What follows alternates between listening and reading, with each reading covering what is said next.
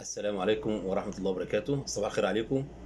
النهاردة معاكم إن شاء الله مكملين في آه، زي ما عودناكم في الحصر لجميع الكميات سواء كانت صرف تغذية آه، حريق تكييف. وإزاي بنعم- نقدر نعمل الحصر دوت المطلوب مننا؟ وطبعا إحنا بنبتدي طبعا في الأول بالمخططات اللي إحنا آه، اعتمدناها الشوبدرون أما في التنفيذ في الواقع بيختلف ممكن يحصل فيه اختلاف. يعني مثلا ممكن يكون في المخطط الطول مثلا تركب 10 متر ممكن تلاقيه على الواقع بقى 11 أو أو 9 يعني لازم تقارن ده بده وتكون بتسجل كل حاجة عندك أول بأول. فهنيجي مثلا آه، هوريكم دلوقتي إزاي بيتم آه، الحصر.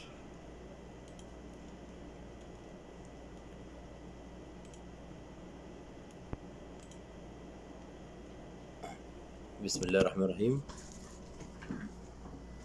دلوقتي أول حاجة دلوقتي إحنا بيبقى عندنا في جداول الكميات بيبقى عندنا مثلا إيه الحمامات الافرنجي إيه الحمامات البلدي بيبقى عندنا الأحواض بيبقى عندنا المطبخ تجويفين أهو عينين تجويفين يعني عينين أهمت. بيبقى عندنا ووتر هامر اريسو اللي هو منع الترك المائي. بتبقى كل الأمور دي بالنسبة لنا موجودة. أهي برضو أهو حمام افرنجي حوض. تمام؟ طيب. دلوقتي إحنا أول حاجة بنعملها إن إحنا عشان نعد مثلا الحمام الافرنجي بيبقى معانا ورقة وقلم بنعلم مثلا على الحاجة اللي إحنا عايزينها. تمام؟ اللي هو آه بنقعد نعد مثلا آدي أول مثلا حمام آدي ده بالنسبة آه ويكون معاك ورقة وقلم زي كده. اهيت ورقة وقلم بتكتب مثلا عدد الحمامات الأفرنجي عدد الحمامات الباريه عدد المنال عدد الجاتلاب الاطوال طبعا أنت بتعد الأطوال بتعد الكميات اللي عندك ديت. عندك مثلا سخان السخان دوت مثلا أهو 100 لتر عندك بتعده. عندك الأحواض بتعدها. طيب بالنسبة بقى للأطوال. الأطوال المواسير كل قطر بتعده لوحده. يعني مثلا إيه؟ هنا عندك آه، cold water pipe. دي قطرها 40 وهو مشاور لك على الماسورة أهي أدي القطر أهي 40 وبعد كده الم- الماسورة دي قطرها 32 أدي القطر 32 هنا الماسورة دي قطرها 25 تمام؟ المس بعد كده تيجي تاني كل cold water pipe برضو أهي تيجي الماسورة الصغيرة دي قطرها 15 الماسورة الكبيرة دي قطرها 32 فأنت بت... بتعمل قياس للأقطار كلها بتيجي dimension linear وتقوم جايب مثلا كل قطر لوحده. هنا القطر ده عندك آه ال 40 ده لغاية فين؟ لغاية النقطة ديت. يبقى أنت كده وبتقوم متسجل في الورقة. لا طول كذا أهي. طيب دلوقتي عندك برضو dimension linear القطر التاني ده كام؟ 25 أهو. تبتدي تسجل تجيب ال 25 لغاية هنا. تيجي تي... أدي القطر وتسجل. تمام؟ تيجي بعد كده القطر 15 أهو. تيجي تقيس القطر 15 أهوت. أدي القطر 15 تمام؟ أهو. نيجي بعد كده عندك بتعد برضو إيه؟ الووتر هامر أرستر اللي هو منع ترك الماء. أدي عندك مثلا واحد. تمام؟ أدي عندك اتنين. تمام. ادي عندك تلاتة. تمام. ادي عندك اربعة. برضو بت- بتقعد تشيك؟ آه أنا علمت على ده. وعلمت على ده اهو. علمت عليهم يبقى كده مظبوط هنا اربعة في المكان دوت. وبسجلهم. وعندي هنا اهو. ادي واحد كمان هنا اهو. ادي خمسة. وعندي تمام؟ بعد كده هنيجي بقى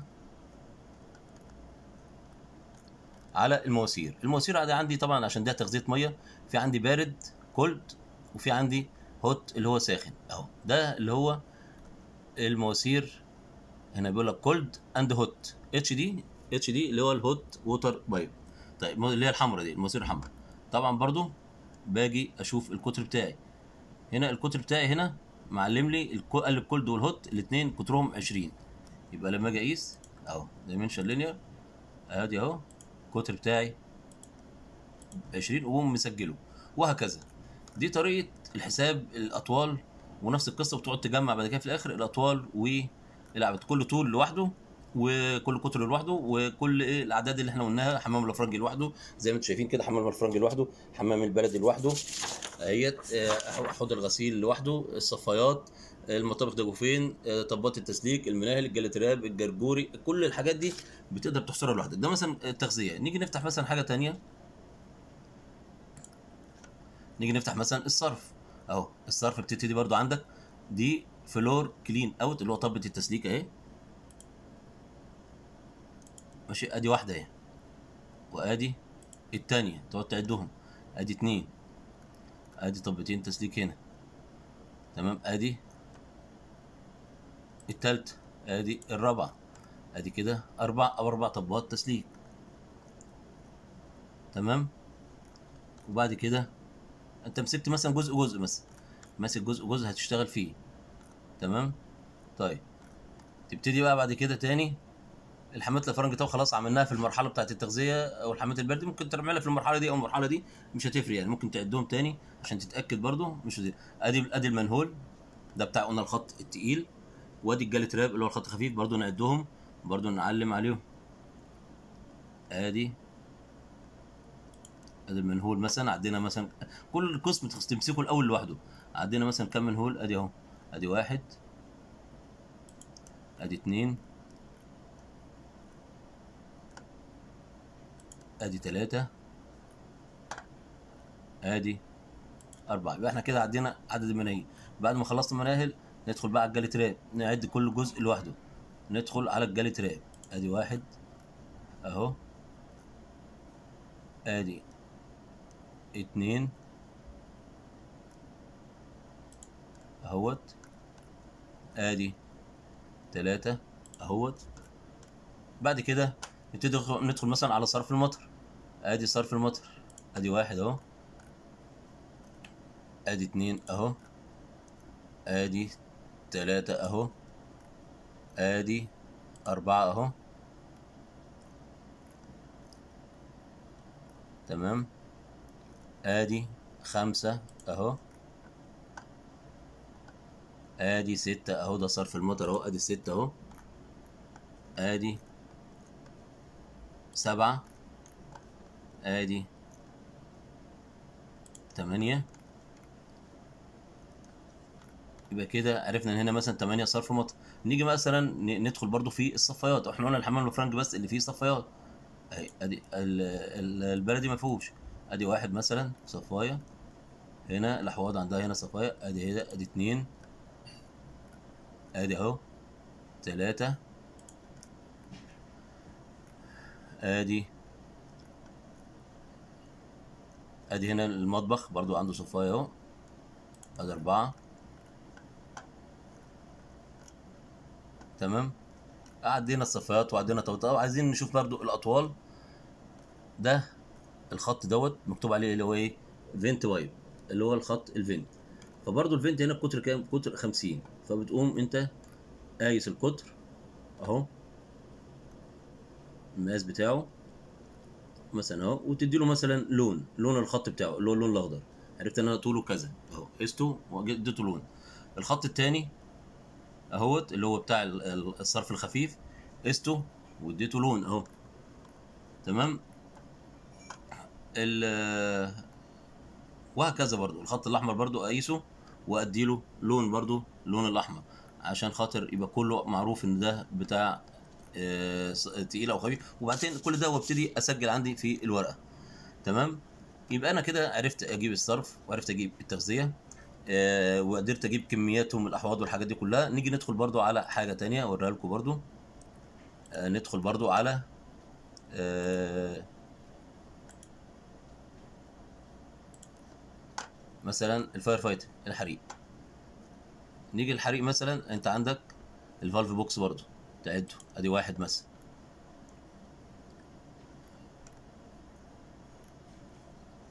تمام؟ تيجي بعد كده تبتدي تشوف مثلا الكباين.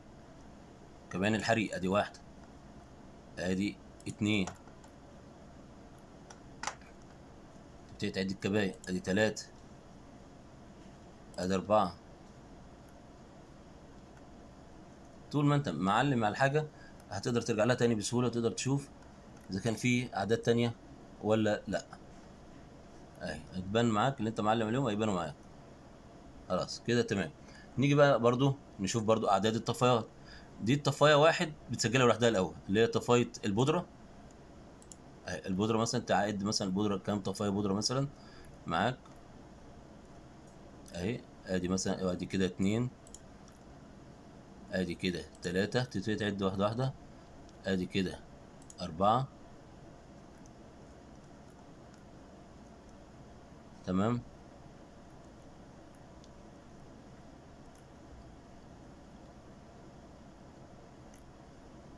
تبتدي بعد كده تعد مثلا طفايات ثاني أكسيد الكربون اللي هو 2 ادي واحدة. ادي التانية. ادي التالتة. آدي الرابعة. آدي الخمسة تبتدي برضو نفس الموضوع في الأطوال. هنا هنا قايل لك القطر ده 75 هدي برضو تقيس كل طول لوحده. وهنا مثلا الطول هنا آه، القطر هنا خم- 25 تقيس برضو طول لوحده. وتعد برضو عدد الرشاشات برضو نفس الموضوع. أدي رشاش. تبتدي تعد الأعداد. اتنين تلاتة. آدي أربعة. اللي انت هتعلم عليه هتبقى عارف عدد إيه. آدي خمسة ستة سبعة تمانية أي- تسعة عشرة حداشر اتناشر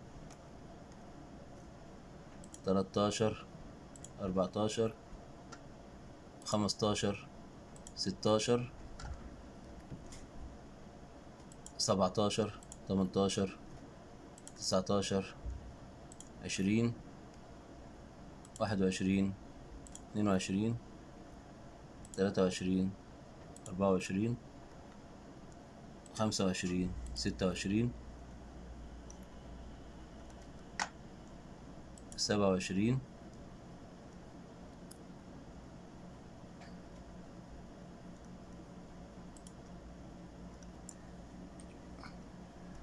تمانية وعشرين تسعة وعشرين تلاتين واحد وتلاتين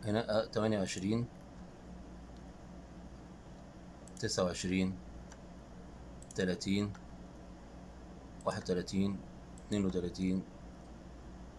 تلاتة وتلاتين. أربعة وتلاتين. خمسة وتلاتين. ستة وتلاتين. تبدأ انت كده عديت عدد الشوط وعديت الأطوال وعديت كل حاجة. ندخل برضو على حاجة تانية هنوريها لكم برضو اللي هي التكييف. نفس الموضوع برضو في التكييف. أهو تبتدي. أول حاجة بتلون كل قدره مثلا دي 2 طن 2 طن أهو 2 طن طيب تكييف ال 2 طن ادي أنت مثلا إيه علمته هو أدي واحد عشان تسهل عليك. أدي واحد أدي اتنين أدي تلاتة أدي أربعة. لو أنتوا بلون خلاص عرفت إنهم أربعة. نيجي بقى للتكييف الواحد ونص طن أهو دول كلهم الأبيض بقى. أدي واحد أعلم بقى عايز أعده بقى واحد واحد بقى. ده الابيض اللي هو الواحد ونص طن أعدهم بقى واحد واحد. أدي واحد أدي اتنين أدي تلاتة أدي أربعة أدي خمسة أدي ستة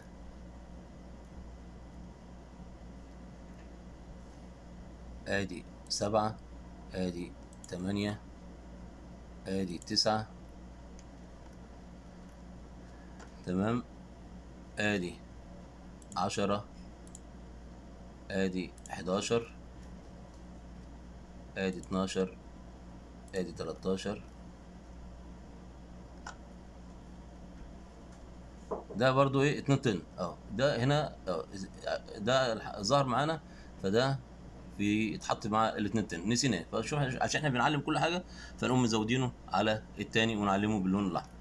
تمام؟ نيجي برضو لمراوح الطرد. ادي المروحه مثلا 75 CFM نقعد نعلم عليها واحدة واحدة. ادي 75 اهي نبتدي نعلم عليها واحدة واحدة. نعدهم ادي واحد اتنين ادي تلاتة ادي اربعة. تمام. ادي خمسة.